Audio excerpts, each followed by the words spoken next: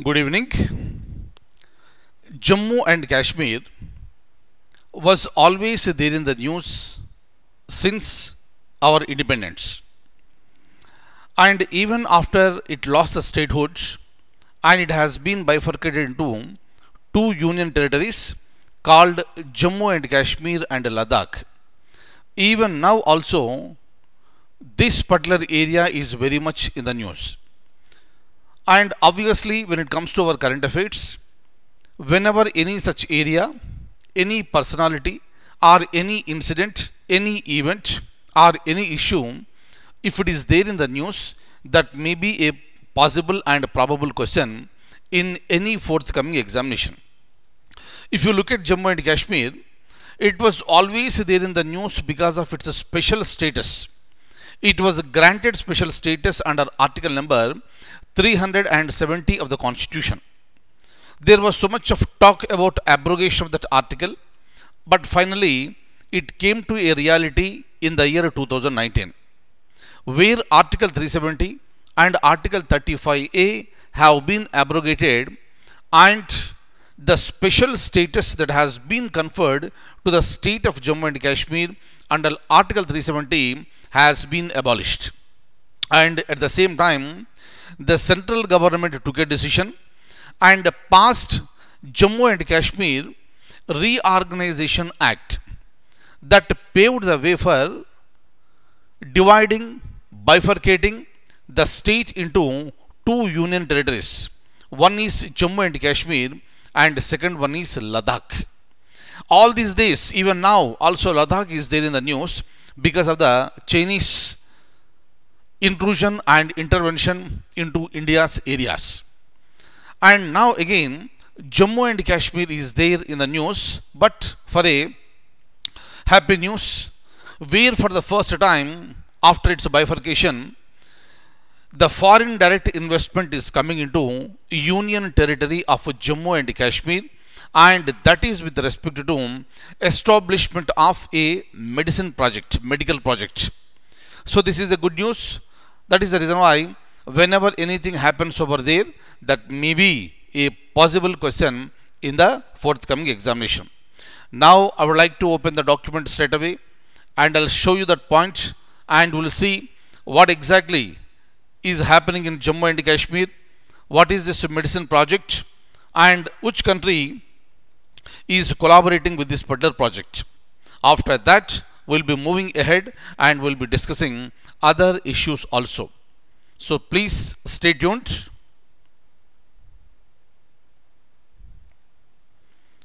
So look at this today's today's national and international current affairs.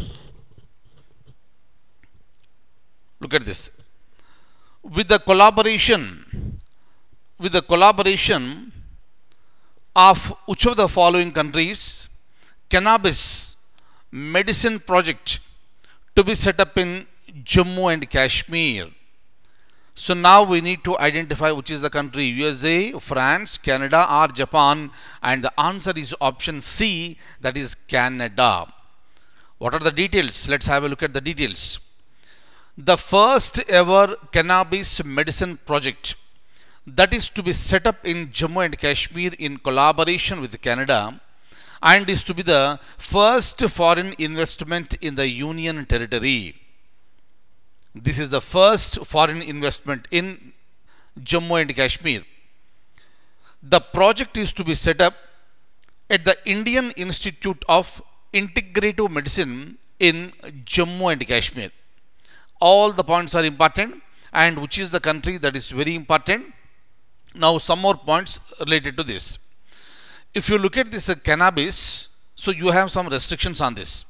That is the reason why a special permission has to be obtained to produce pain relief medicine for patients suffering from cancer, diabetes, etc.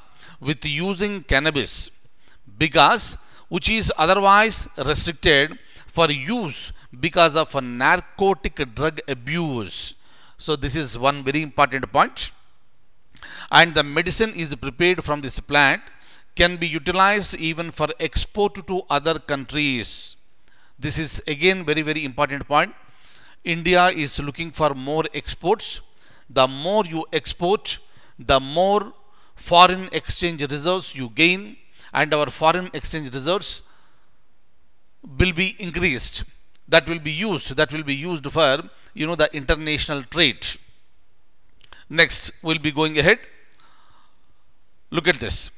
Some more information with respect to Jammu and Kashmir.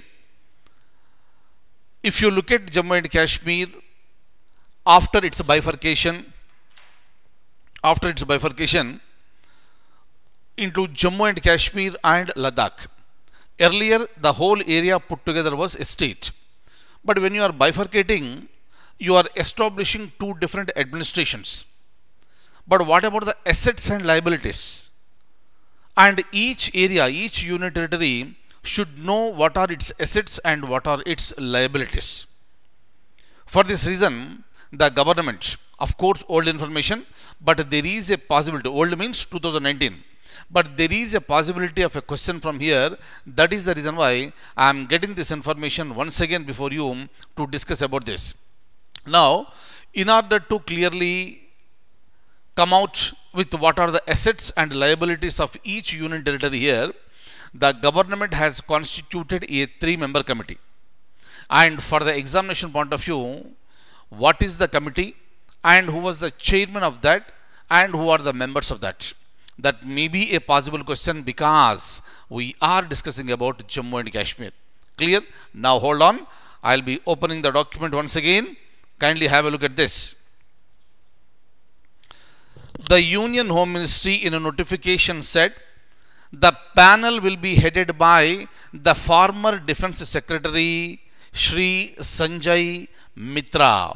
Please remember that three member committee, three member panel was headed by Sanjay Mitra and a retired IAS officer Sri Arun Goyal and a retired Indian Civil Accounts Service officer Giriraj Prasad are the members in this committee. Important one, chairman is Sanjay Mitra. Other members are Sri Arun Goyal and Sri Giriraj Prasad. Clear, very, very, very important one. And look at the last point on the screen. It will look into the distribution of the assets and liabilities between Jammu and Kashmir Union Territory and Ladakh Union Territory. Clear? Very, very, very important one. So this is the committee and the important point is that who is the chairman of that three member panel and the answer is Shri Sanjay Mitra. Next, another very important one question. Again, this is related to Atmanirbhar Bharat. Now the question is related to Khadi Agarbatti Atma Nirbhar Mission is an initiative of look at this this is coming under you know the industries. But which industry? Right? So that is important. Now is it ministry of commerce and industry or ministry of msmes or nabard or niti aayog all right? So it should not be definitely nabard. It's not nabard but the answer should be ministry of msmes what is msme micro small and medium enterprises msmes Okay, now we'll be going ahead. Look at this. This ministry has approved Khadi Agarbatti Atmanirbhar mission. And the scheme, look at this. What is the aim? What is the objective of this scheme? Please understand very clearly. Whenever government launches any program, there is an objective. Without objective, without goal, no scheme is formulated. Similarly, if you look at Khadi Agarbatti Atmanirbhar mission, this scheme aims to create employment for migrant workers in different parts of the country, supporting the local agarbatti industry and hand holding artisans. Very, very, very important. Because of the current pandemic, COVID 19, coronavirus there is so much of there was so much of problem with respect to you know every industry and every sector. And more so with the poor people like this migrant workers and it is the responsibility of the government to extend support to them. And these migrant workers have lost their jobs because they were living in other areas. Because of this pandemic they lost a job. And with lots of difficulty they got back to their you know home places. Now they need to be supported. And one of the mechanisms is to providing employment to, to them with this particular mission. Everything is interlinked my dear friends. Next we are going ahead. Look at this another one. Which of the following ministry launched credit linked capital subsidy scheme for technology upgradation? I repeat the question. Which of the following ministry launched credit linked capital subsidy scheme for technology upgradation again the answer is ministry of msmes kindly see here. Now if you look at uh, the msmes in india rather throughout the world they are gaining strength.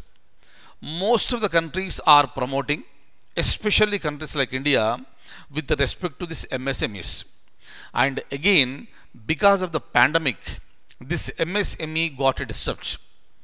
But you need to continue them. But how do you continue? Where is the support of the finances? That is the reason why government came forward and government announced that that financial assistance will be provided and there will be there will be a subsidy of you know the 15% so that there will be less burden on this MSMEs and the people who are operating MSMEs with this assurance they don't leave the MSMEs and they don't move out. That is the basic idea. Clear? Now once again look at this. Read the question once again if you want. Look at this. So the objective is to facilitate technology upgradation in MSMEs by providing an upfront capital subsidy of 15% on institutional finance up to 1 crore rupees. This is very, very, very, very important. Institutional finance means if you are taking the finance from the banks and other institutions that are permitted by the government, that is called institutional finance. And you know, if it is, you know, this 1 crore, in that one, 15% will be given as a subsidy. Very, very, very, very important. Okay, next.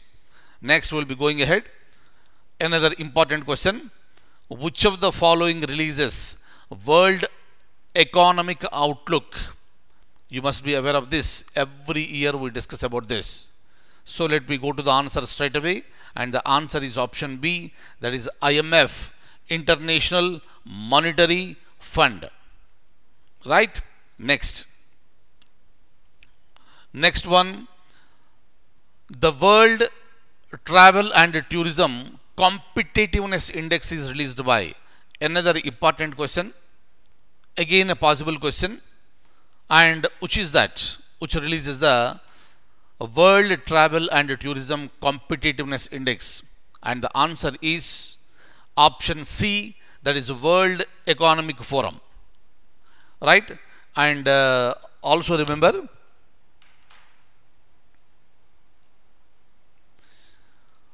also remember